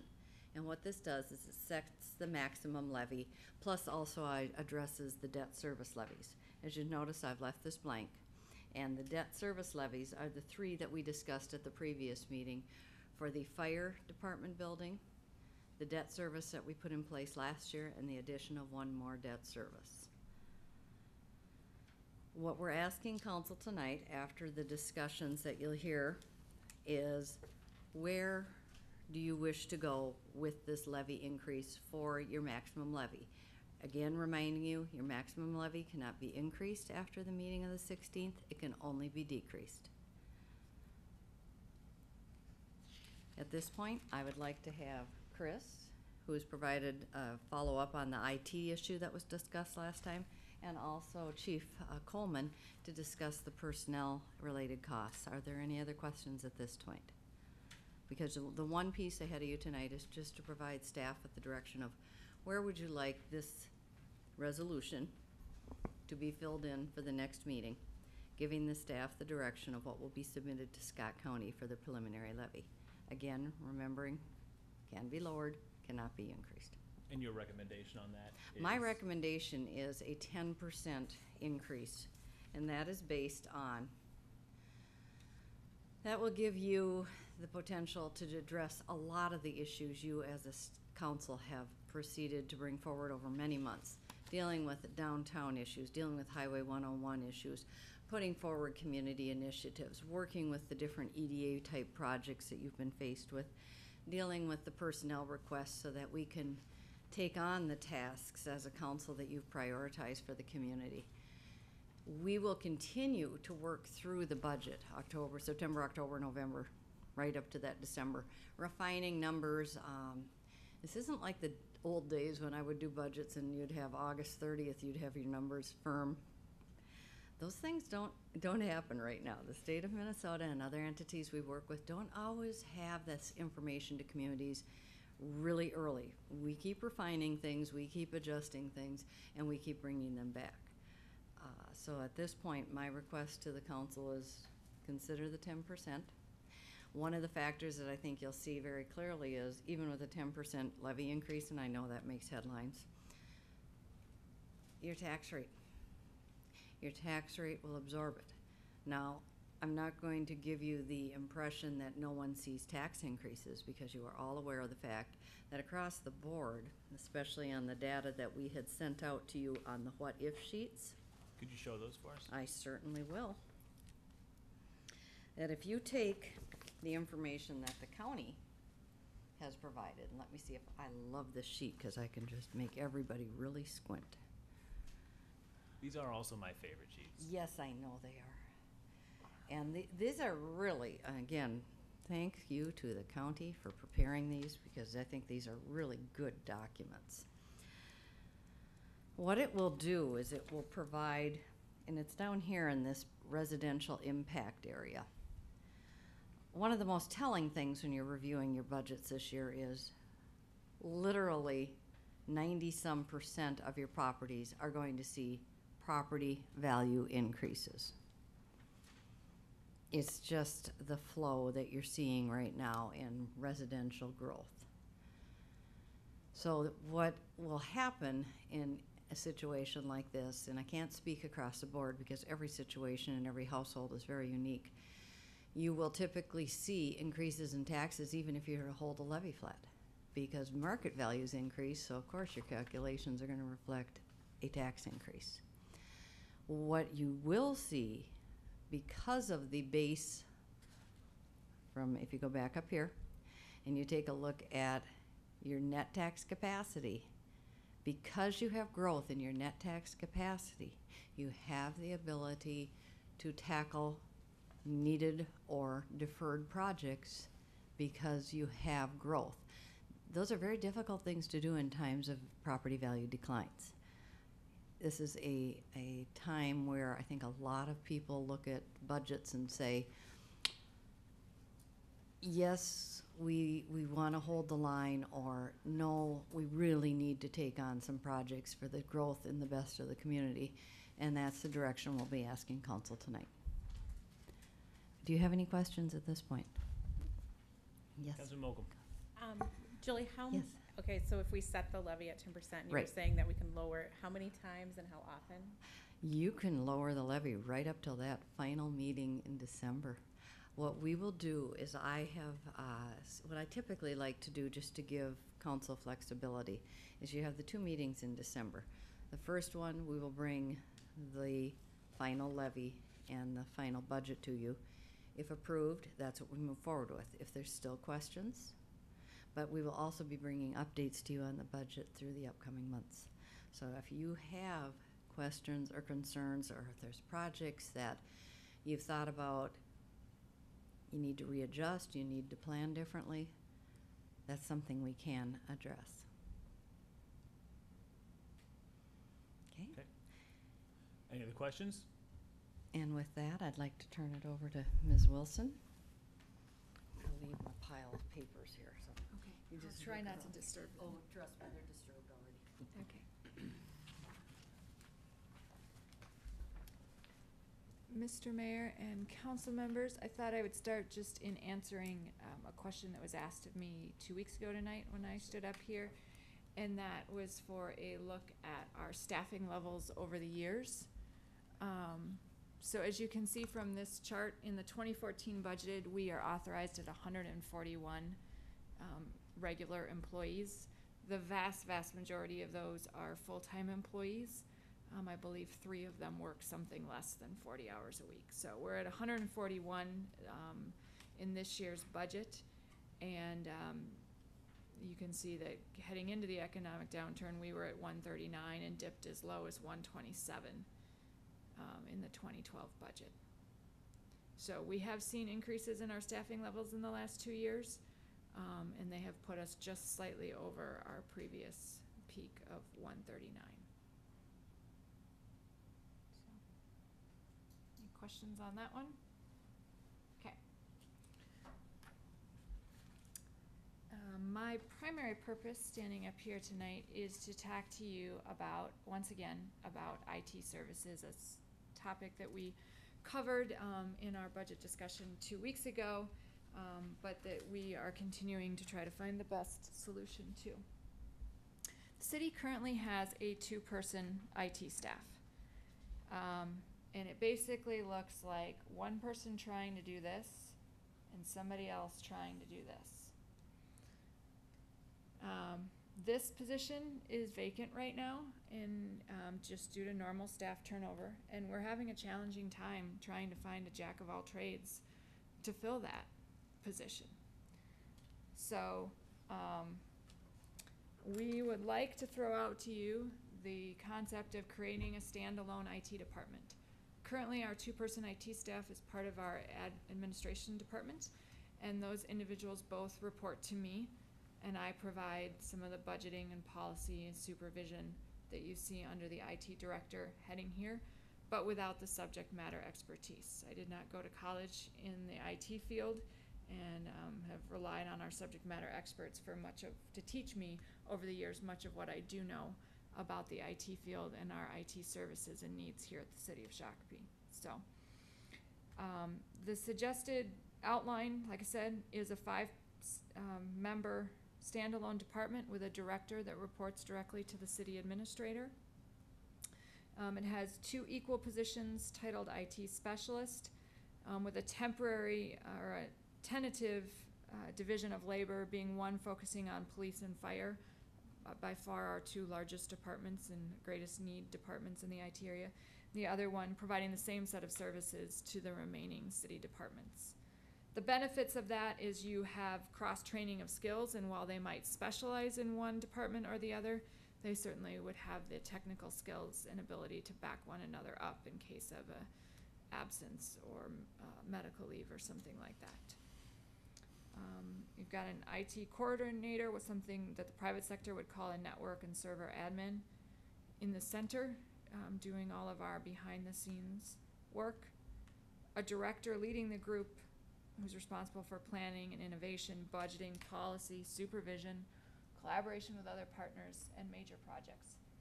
And then an IT assistant, um, handling a lot of the day-to-day tasks that pull away from our skilled and uh, talented staff and have them doing things that um, could be done by someone at the assistant level.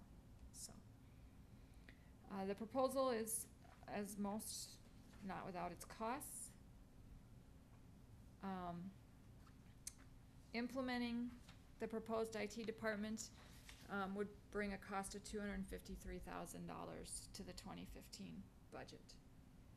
Um, the finance director and I have discussed that as well as available sources of funding for this project. And it's our initial recommendation that the council consider, um, collecting fifty percent of that amount through the tax levy. And the remaining fifty percent could come out of our IT fund, which traditionally is not used to pay for personnel costs, but is in a healthy position right now and could be used that way as a bridge uh, to a new department. Um, it's not sustainable to continue to use that IT fund to pay wages on the long term. Um, it could easily be done in twenty fifteen, and you could probably pay for a portion in twenty sixteen as well without creating, um, any great inability to cover our other needs out of that fund. Questions? Concerns? What's the rest of the sentence say? This will not be sustainable indefinitely, but will allow for the cost of a full IT department to be gradually added to the tax levy over two or three years.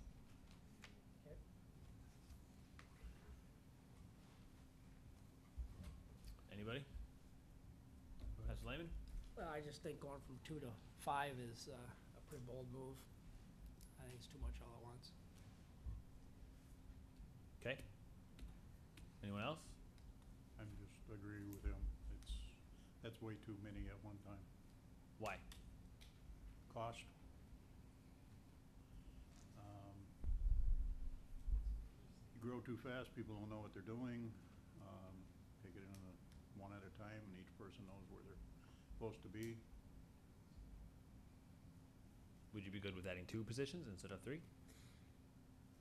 I'd be happy with one. Okay, But we can't even fill one right now.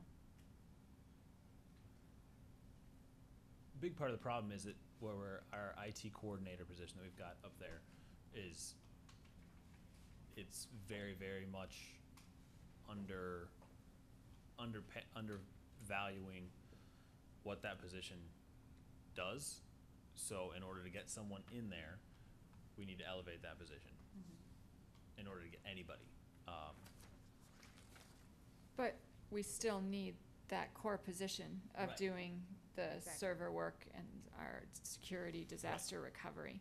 So it's finding that person that wants to spend hours and hours in a server room, setting those things up, and then turn around and lead a group, interact with policymakers at other le- levels, uh, organize and coordinate projects and vendors and budgets.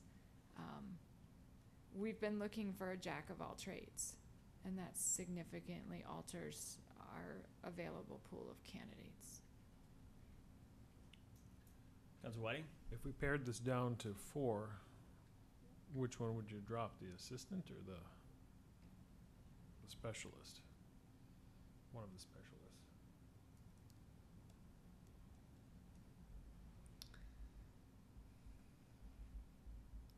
I would look at the choice as being a dropping the assistant or the director, quite honestly, not,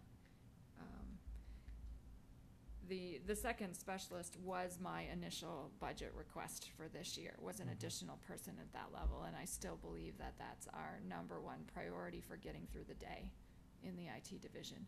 The IT specialist that we have is excellent. She's smart, she's dedicated, she works hard, um, but there's just only so much one person can get to in a day. Um, so my number one priority is is obviously filling the vacant position we have with somebody that will manage our servers um, and switches, and then after that, as far as growth, my number one priority would be that second IT specialist. Um, if you ask me to recommend four, it would be between the IT assistant and the IT director. And I'd probably wanna have some conversations with my colleagues on the department head team to make that decision as a group, cause this impacts them just as much as it impacts me. Counselor Mocol? Chris, can you tell me how many people the IT department supports? How many staff members? Besides citizens? Thirty-one, there you go, hundred and forty-one. Hundred and forty-one staff people plus a pool that has part-time staff plus, um, you know, the paid-on-call firefighters in the sense of the MDTs that we have in the, in the trucks. Um, we have about hundred and fifty-five network accounts. That's what I was gonna ask next. Um, which would be a way to compare sort of apples to apples across organizations from an IT perspective. We've got about 155 Do you know how many computers versus laptops versus all those things that we support as well? Not off the top of my head, I ballpark, I would say we've got over 100 desktop machines, and then we have MDTs, mobile data, data terminals, basically heavy duty laptops in all uh, police and fire vehicles. And we're growing into tablet use in the public works and the engineering department specifically, but other departments um, as So- well. So my point would be that the more you start adding to this, the more that this looks realistic to me. Well, I just, Whiting. I just see the technology changing and, and, um, more coming online, you know, for the needs that we have, and, and if you start thinking about the police and the fire and all of the data they're collecting and the different, uh, gadgets and technology that's involved there, I understand we need the, we need some people there to, to manage all that, especially at the rate it's changing, so, um, and I'm not sure which, which position, you know, I'm not in a position to know where I'd cut here, but I, I could see the value in, in uh, ramping up, but maybe not going the full, full five. Would you look at making your coordinator, seasoning them into the director and then just hiring a coordinator later on? That is an option if I thought I that understand you don't have a candidate to even Yeah. think about that, but Uh, that was what we went into the hiring process hoping to find. Okay. Um, I think one of the things that's becoming readily apparent with each day and each meeting we have about something that needs to get done is I don't have a lot of time for that IT coordinator to be seasoned into the director role. Right. Um, if I thought needing a director was three years off, then I, w- you know, I, I love the idea of promoting from in and, and promoting, you know, a existing employee and a known quantity and so on. I'm not sure we can wait that long, um, to find somebody to fill this IT director role.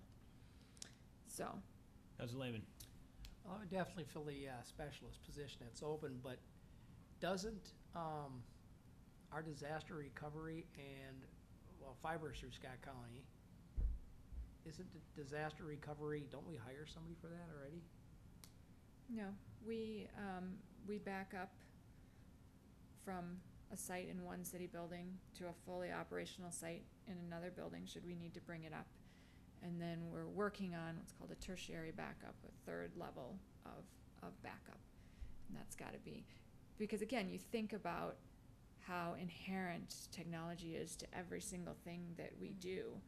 If we are dealing with some kind of disaster situation here and we can't give police, fire, public works, building inspections, the tools they need to do their job, you're gonna hear a significant outcry from, from the public on that, you know, But inability. Remember, technology is gonna make it all simpler, easier, less paper. Hopefully it makes it easier for Remember? the customer on, on their end, but that doesn't mean it's necessarily easier to operate from an internal perspective.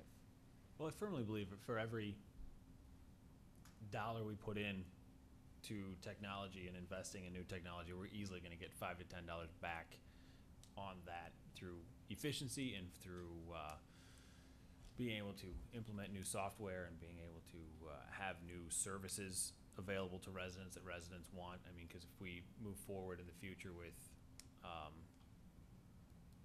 uh, example of if we did permits online, which the vast majority of other communities do that we don't currently do, that takes IT staff and that takes people to handle it to provide those services that people want. And uh, we're way behind the eight ball. And I mean, we had a, a data breach earlier this year, which wasn't a big deal, but I think that we've been extremely, extremely lucky with as thin as we run our IT staff, as ridiculously thin as I think we run our IT staff, um, and not having a full department to run and handle these things, I, I think, I'm very much in favor of, of the five positions. I don't think that would be, with the size of our organization and who we are, if you look at, uh, businesses, we talk a lot about running the city more as businesses do and uh, with more capitalistic intent on things. There's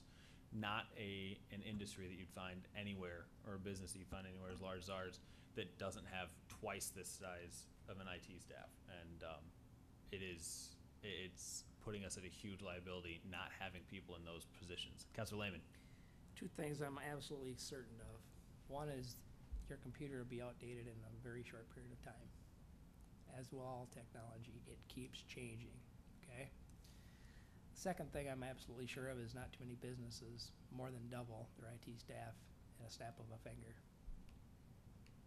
Well, I agree with you. But they also would have built it up over time as the need was was Well, and there. maybe that's the strategy. but the need is there. I, I mean, we don't need to argue at, at that point. I'm, if if everybody's more comfortable with four positions instead of five, I'm okay with that. I think that beefing this up will dramatically help the entire organization, and I very much appreciate, even if it doesn't get to the full five, staff bringing this forward this way. Council Lehman. Then the, the other point I would make about government compared to the private sector, if you put permits online, will you cut staff that currently does handwritten permits? Probably not. Private sector, they'd replace them. They'd replace them with an E-model, and then positions would go away. I don't believe that to be true. It is true. Okay, we'll disagree on that. Mr. Mayor, if I could, Yes, please. Um. I apologize, I lost my train of thought. Um, you want us to take a seven-minute recess? no, I do not want you to take another seven-minute recess. Um, I'm sorry, I'll just have to let that go until the next Back time when I. it comes back.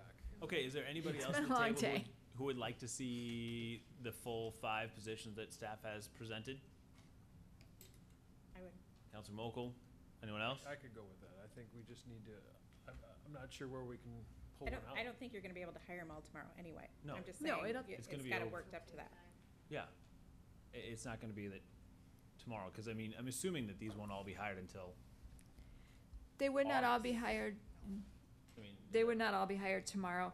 I definitely am hoping to get some kind of commitment because I need to go out and fill the position that we have. Mhm. And whether I'm looking for the, the second person in a two-person IT department or the second person in a five-person IT department makes a di- big difference on who I'm gonna bring into that spot. The other thing is, you know, we've got on here the total annual cost because I prefer to always show you the full year cost.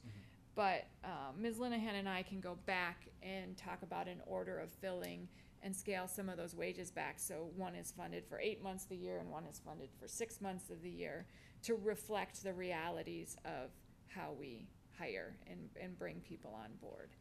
Um, so if we're going with a director, we'll clearly want to do that early on so that they have, you know, significant say in But, b- fleshing out the remainder of, of the department and the team.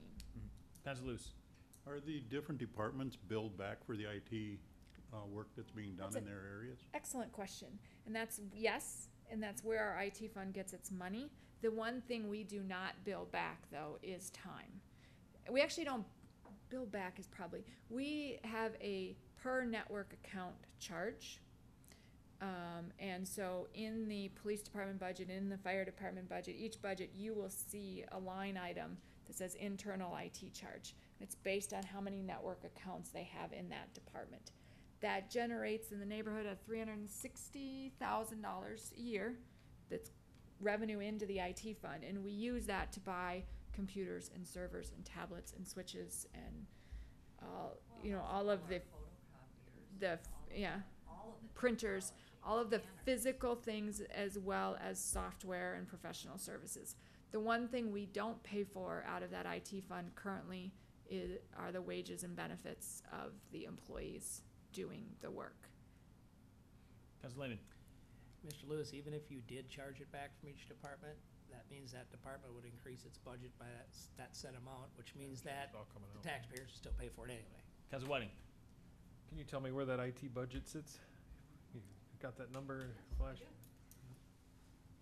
Uh, As you recall, when we were discussing in March where we were at at year-end 2013, we took a sizable transfer into the IT fund because, as both Mr. McNeill and Ms. Wilson will acknowledge, I have had a real concern over the IT situation in this city, both staffing and ability to maintain the quality and level of your equipment. 300,000 was transferred in.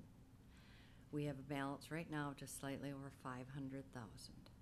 And we have sat and uh, Ms. Wilson and I have talked at length, what equipment, when to replace, what's the charges? And we both agree, we could plan for these positions with the dollars we've got without putting those funds at risk. Well, My concern is that those funds are there for a reason. They are set aside as an internal service fund to fund this critical need of the city.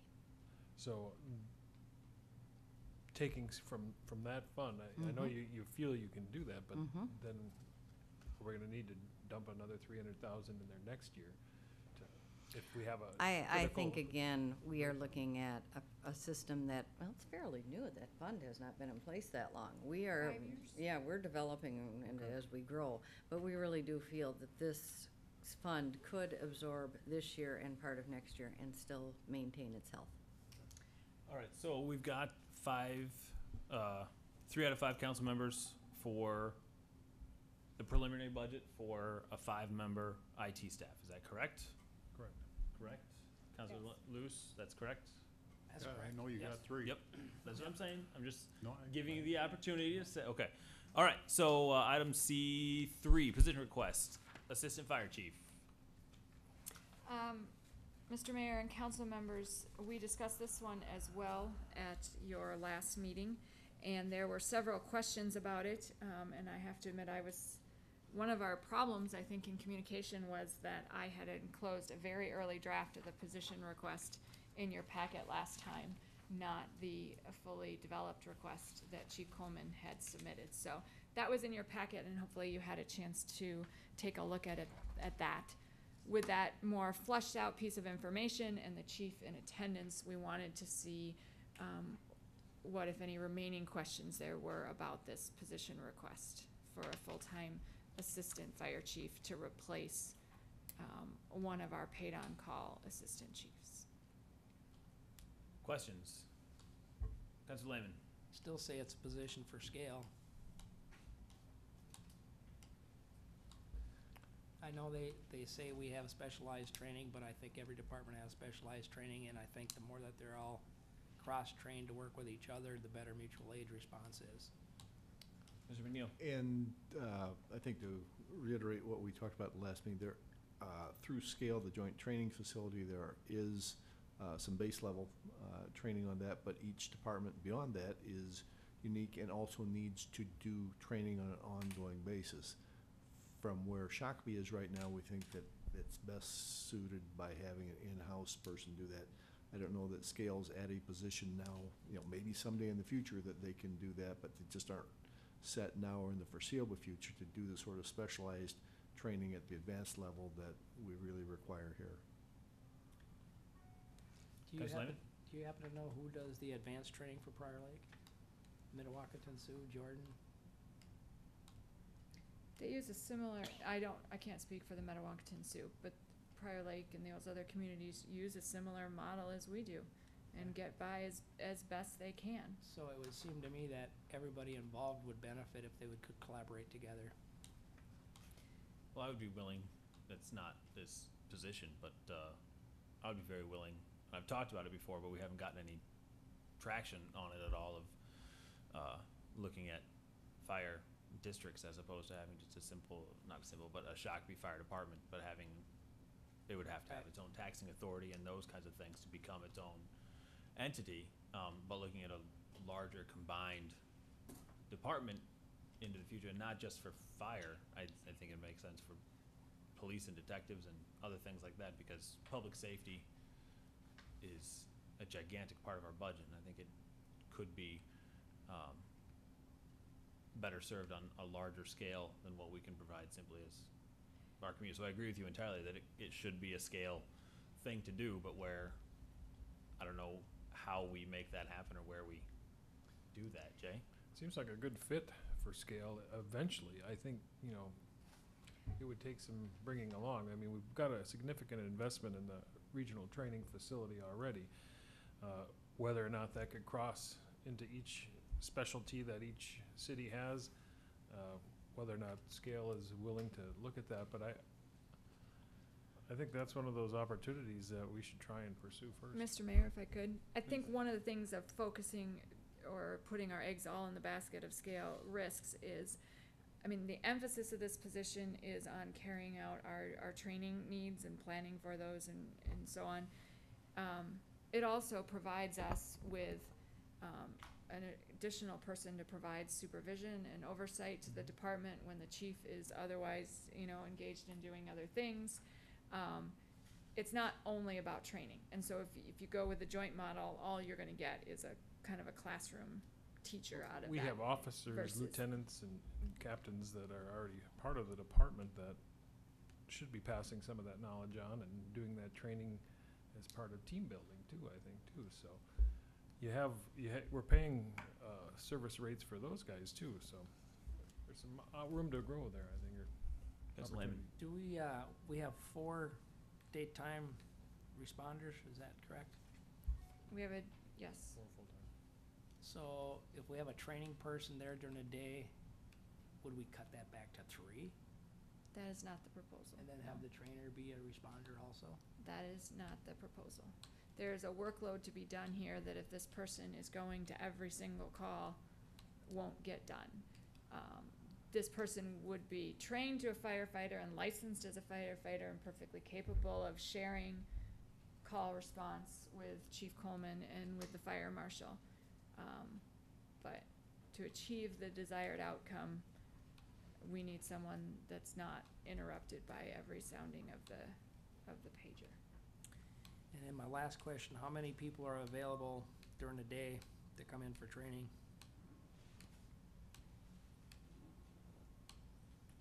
Chief? Mayor, council member, that, that's gonna vary from year to year. Um, I would say right now, we're probably looking somewhere in the neighborhood of ten that we could train during the day. Well, didn't we put a daytime crew on because we couldn't get daytime responses to come to the fire calls? We couldn't get, we can get ten, we wouldn't have needed a daytime crew. Well, what I'm saying is they're not available every day. You know, they may work a shift where they're working nights or they're working swing shifts, so they're only available one day out of the week or two days out of the week. They're not there every day. Right.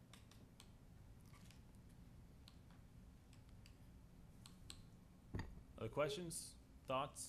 Council Luce? I'm open to consideration of it, but I wanna get a little better feel for how our four full-timers are, are doing. I know there's a questionnaire that's gone out, I would like to see some of the, um, answers and how they compile before I would make this decision.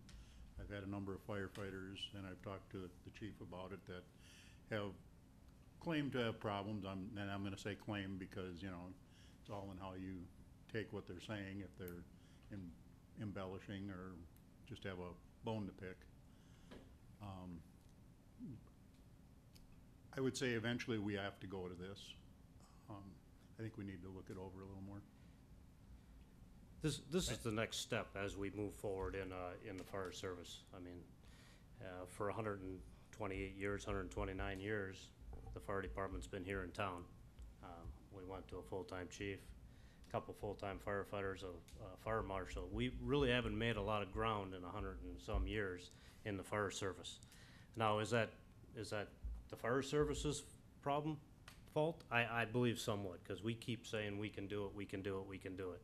Um, the fire service isn't like it was fifteen years ago. Things have changed, times have changed, lifestyles have changed. We have guys that are working forty hours a week, coming to training, they have children, they have sports to take care of. They, the time commitment isn't just not there. These guys love to do the job they do and they do it very well. They just don't have the time anymore. Um, we need to start looking at, into the future of how we're gonna provide this protection for our citizens. You kinda gotta think of it as an insurance policy. That's what we're providing to our citizens as a fire department, is an insurance policy. What kind of level of policy do you wanna give them? What kind of response time do you wanna give them? I can tell you right now, our daytime crew is running about five-minute response times. Our nighttime guys are down to about eight minutes now that we've, we've taken that daytime response out of there when we were at thirteen minutes a year ago. So we have made some big improvements to protect our citizens. Can you get us that data sometime? I Just sure put it in can. Activity, activity report, thank you. I, I can have it to you tomorrow. I think this position would also be an insurance policy for our firefighters. They'd be better trained. Um, and I understand through talking to you, um, that there's a lot of paperwork that goes on with this, uh, firefighting nowadays, that reporting to the state and the insurance companies and everything else. Um,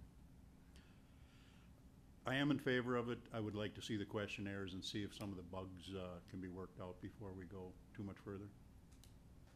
Mr. McNeill? Good, Mr. Mayor, if there's general support for this, one of the things you can do, as Ms. Linnihan indicated, you've got until the end of the year really to make the final decision, right? You can put it in your preliminary budget, and then if based on the questionnaire results or whatever other information you might need before then, um, you can either choose to keep it in or to delete it between the time that the final, uh, levy is set and the budget adopted. I would be in favor of that. Other folks? I'm not, I'm sorry, chief, I'm not a huge fan of moving this direction. Um, I, uh, and we've talked a little bit about it in the past is, well, like I just said, is I think there's a, we haven't explored a different way of doing fire and public safety as in general, and I don't know if that reaches as far as, um, uh, code enforcement and, and those kinds of things. I don't know where where that begins or ends uh, for collaborating with other communities to do things, or if people want to collaborate with other communities to do things. But I'd much rather see us like having th- this position shared, like Matt was talking about, between us and Savage and Prior Lake. Um, and I know we have different training and different ways that we do things and different equipment, but I don't, I don't know, and I don't know- feel if that's the right way to do it or not. What do you think? Well, I, I think eventually we could get there. Um, somebody needs to be a leader in this, in this county, and it's, and I think it should be us. Um, if we start initiating and doing what we need to do to protect our citizens, I think it'll, it'll eventually go out into the rest of Scott County, and we can maybe start molding the county into whatever that might happen to be. Um, what that is, I don't know. There's so much distance other than between Savage, Prior Lake, and Med and ourselves, that it's hard, if you wanna call it a county fire department, or whatever you wanna call it, there's too much distance between us right now to fill them needs and gaps. So, in the future, yeah, it might, it may, it may become that, but I think we need to start taking the steps to get there, and maybe we just, as the leader in the Scott County, make that step and keep going we have the biggest tax base and a lot of our money is already leaving because of this. So if we had a countywide, I'll call it training chief or whatever you wanna call it, I believe we'd end up paying ninety percent of it anyway because it'd be based off our population and what it is, no different than the training facility right now. We pay a lot of money to the training facility compared to every, everybody else. Mm-hmm. Do we get any more out of it? Not really. So, if we were to do something like this, how would that lead us further in the direction of being a leader and, and getting more collaboration and things? Well, we get started in it. We already have the, we'll have the position, we'll have it filled, it'll be working, and maybe we can, once we get it going and it's going good for us, we can invite other county people to come train with us and, and say, hey, Jordan, we, we have a full-time training chief. Would you like to, uh, buy into this now that he's here already? Okay. Type deal. Uh, Just a question for the chief. Uh, Savage has a second position right now. What is that? Uh, Assistant chief. Assistant chief who does similar? He does some training, yes. Okay. He does training and inspections and that kind of stuff. That is something that we can explore. I will say, and, and Mayor, you were at some of the service delivery meetings from Scale. I mean, it's a great concept, it's a great idea.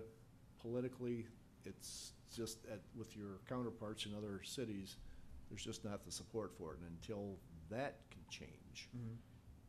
you know, it's a great idea, but I don't know how realistic it is, at least for the foreseeable future. Okay. We've got a need right now, and that's, that's why we brought the recommendation in to fill it. My, everything I've seen from the chief is that it will be filled regardless of how much collaboration there is. My guess is we would also, we would probably be providing it to other cities who might be interested in it. They might be able to help us with future funding. For the time being, though, we've got a need now for a full-time position. Okay, Matt? I'm surprised we didn't ask other cities ahead of time to see if they would be willing to, uh, cost participate in this position. Do you know for a fact that we didn't? I don't see anybody, uh, willing to participate. So I assume if we asked them, they're not interested, or we didn't ask them. Okay. My, my assumption. I know, I know what the word assumption means, so.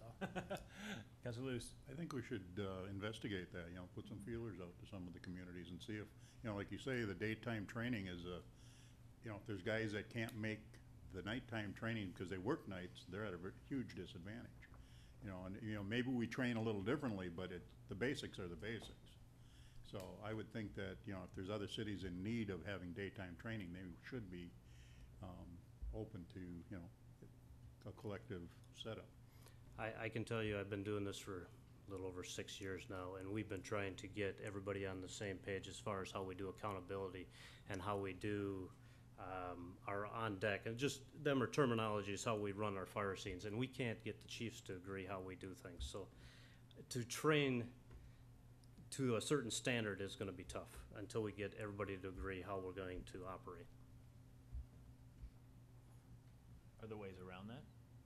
Sure, when I go to Jordan, I operate the way they want us to operate, cause that's just the way it is.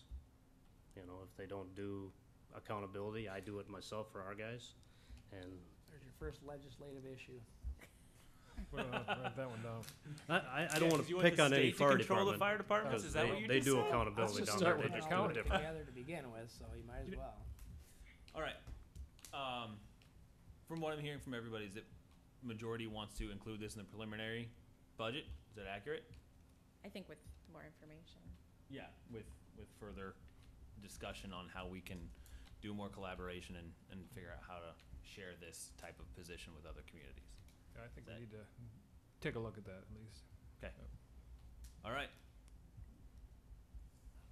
Okay. It's in the preliminary budget. Wonderful, Thank you. thank you. We'll get more information. All right, and ahead of you is the question that you will be seeing. Just to kind of walk through again. There's so many forms we get to fill out for the county and the state and everybody on this. This is just another one. This is one of the forms we submit to Scott County that provides them, and this would be a draft of where we would be with the levies that we've spoken about tonight. And my request to the council is for direction related to the levy as presented in your packet of how you would like to proceed on the meeting of the sixteenth with the preliminary levy, which will include, as was indicated, the general property tax levy. It will include the debt service levies. And those also cover the issues that we've discussed at the previous meetings with the inclusions of the positions and also funding for the one oh one slash downtown corridor. What would be the request of the council to proceed with the preliminary levy? All right, just so everyone's Mhm. clear. Um, What we're presenting there yep. we're- is right back here. What we're talking about is your ten percent, your eight percent, your five percent, your flat. Exactly. So we're Mhm. recommending, we're gonna make a motion My on request a- is to begin with a ten percent levy on the preliminary. We will continue to work through that as we proceed through to the December final levy. And then as we get to the December final levy, if council sees fit, they can Correct. pull that down or remove projects Correct. as to get the final levy for the twenty fifteen. Counselor Mhm. Lehman? Well, I'm a firm believer in the, the, the, in order to encra- enhance somebody's quality of life, you do that best by stop taking money out of their pocket. So I'm back in the five percent range. Was that a motion? Sure. Okay, could you restate it? I'll make a motion to bring forward a five percent levy increase. Do we have a second? I'll second it. Second by Counselor Luce. Any discussion? I'm very much in favor of staff recommendation, just so I'm clear as to where I'm going at the ten percent, so I'm gonna vote no for this because it, uh, I don't think it gets done the projects that the residents want us to get done at this point. Any further discussion? Counselor Whiting? Now, at the ten percent level, that has all of the projects we've discussed, the positions we've discussed. Correct. We will be Plus, is it tapping added or- into fund balance slash underspent, because seriously, I'm anticipating a significant amount again in the twenty fourteen budget, just from a number of things that have been occurring in the first seven months of this year. A significant underspend. I believe there will be. Right now, I'm tapping it in at five hundred thousand plus. Any further discussion? Alright, seeing none, all those in favor? Aye. Anyone opposed? Aye. Aye. Counselors, uh, Whiting, Mayor Tabke, and Counselor Mocol in dissent. Uh, the motion fails, two to three. Do we have any other motions? Counselor Mocol, I'll make a motion to increase it to the ten percent with being able to adjust it later. do we have a second? I'll second that. Second by Counselor Whiting. Counselor Lehman, We could just do something totally off the wall and just go for a zero for one year. We did that many years. Oh, we- that's we've got done. history with that, I yes. don't know if this is the year to do that. A zero levy, a zero levy. yeah. Alright, further discussion? Alright, seeing none, all those in favor? Aye. Aye. Anyone opposed? Aye. Passes three to two with Counselors Lehman and Luce in dissent. All right, Thank you, council. I'll bring back the resolutions, the Thank you. follow-up, and we'll have that on the September sixteenth city council meeting. all right, thank you, everyone, Thank you. for all of your work. Uh, anything else, other business at all tonight? Nothing? All right, item eight, need a motion to adjourn to September sixteenth, twenty fourteen at seven PM. I'll make a motion to adjourn to September sixteenth, two thousand fourteen at seven PM. Councilor Mocol, do we have a second? Councilor Lehman, any discussion? Seeing none, all's in favor? Aye. Anyone opposed? Passed unanimously. We are adjourned.